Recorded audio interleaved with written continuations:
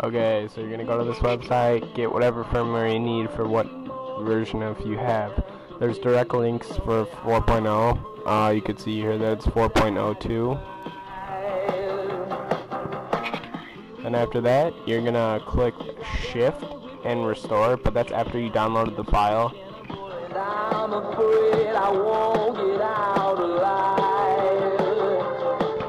This is the easiest one. A lot of people tell you to do all this other stuff with files. You just have to download it, click shift, and find your restore. And simple as that.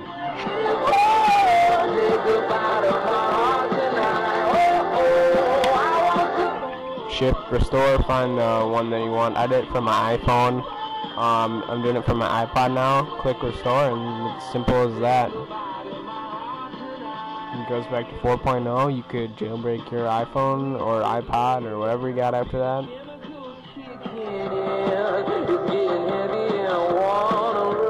All the links will be in the description. So yeah, thanks for watching.